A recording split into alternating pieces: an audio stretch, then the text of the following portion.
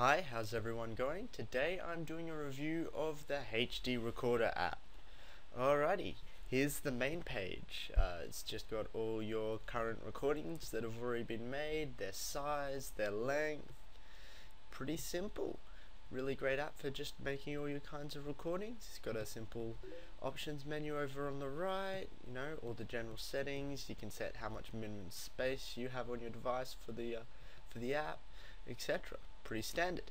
Right, over here we have an edit button which allows you to create different categories for uh, for your audio recordings if you want to move them around and organize them a bit. You see there, I can just drag hello down into the tomorrow category.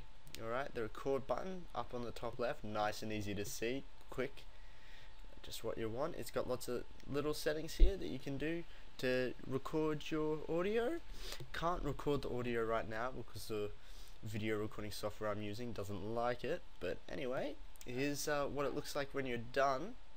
You know, you got the play option, you got pause, you can drag it up and down, you know, wherever you want. Alrighty.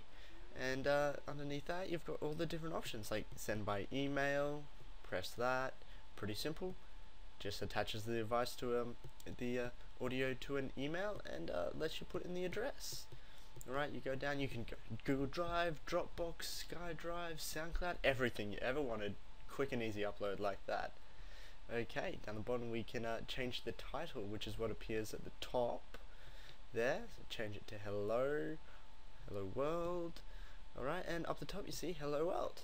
Okay, and then you've got the file name, how to appear on your computer if you should put it there just change that uh, to world and there you go. Right. If we just head back now to the main page we can bring up the review audio and you can see there's a couple of other options here like edit and trim. We can just cut the audio down to a different size and press done and we'll overwrite that and look we've got a new audio review. Right what we can do from there is add that onto the end of another audio. So you can attach two together. So quick so easy. What more could you want? Okay and the last option is uh, convert to mp3 so if you want the file to be an mp3 you just just hit that convert. Does it like that. So quick. Everything just done on the screen very simple, very easy audio recording device. Saves all your audio, small files, very good. Thanks.